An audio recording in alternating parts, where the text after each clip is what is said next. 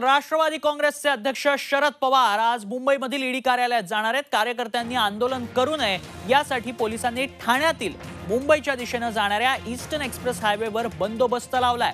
त्यामुळे ठाण्यातून मुंबईला जाणाऱ्या आनंदनगर चेकनाका इथं वाहनांच्या रांगा लागल्या आहेत. आंदोलनाच्या पार्श्वभूमीवरती हा बंदोबस्त ठेवण्यात आलेला आहे. अशा पद्धतीत वाहनांच्या रांगा लागल्याचं पाहायला मिळतंय.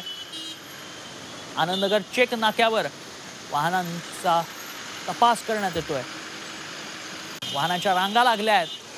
ईस्टर्न एक्सप्रेस हायवेवरती हा बंदोबस्त लावण्यात आलेला आहे. त्यामुळे ठाण्यातून मुंबईला जाणाऱ्या आनंदनगर चेक नाका इथं वाहनांच्या लांबच लांब रांगा लागलेल्या पाहायला मिळत आहेत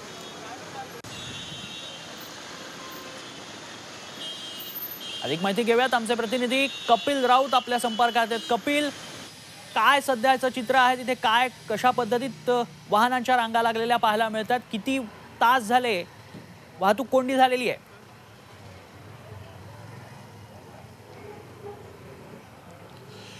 नक्कीच तन्मय वाहतूक कोंडी मोठ्या प्रमाणात झालेली आहे. इस्टर्न एक्सप्रेस हायवेवरती मोठ्या प्रमाणात रांगा लागलेल्या आहेत कारण की मुंबईचे जो चेक नाका आहे तिथे चेकिंग पोस्ट लावलेली आहे. कार्यकर्त्यांच्या गाड्या चेक केल्या जात आहेत त्यामुळे रांगाच्या रांगा लागलेल्या आहेत.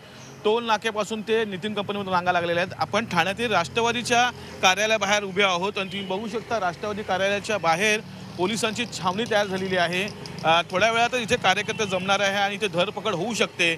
एकंदरीतच ईडीला आज शरद पवार सामोरे जाणार आहेत. आणि ह्यासाठीच ठाण्यातून अनेक शेकडो कार्यकर्ते ह्या इथून ईडीच्या कार्यालयात कार्यालय गाठणार आहे. आणि तिथे कुठचा अनुचित प्रकार होऊ नये कायदा सुव्यवस्थेचा प्रश्न निर्माण होऊ नये म्हणून हा पोलिसांचा बंदोबस्त आहे.